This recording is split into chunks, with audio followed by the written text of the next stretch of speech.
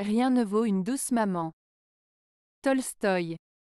Cette citation de Tolstoï met en avant l'importance de la relation mère-enfant. Elle souligne la douceur, l'attention et l'affection que peut offrir une mère à son enfant. En effet, rien ne peut remplacer l'amour maternel et la relation privilégiée qui existe entre une maman et son enfant. Cette citation peut également être interprétée de manière plus générale, en évoquant l'importance de l'affection et de l'attention dans toutes les relations humaines. En somme, cette citation rappelle l'importance de la tendresse et de la bienveillance dans nos interactions avec les autres.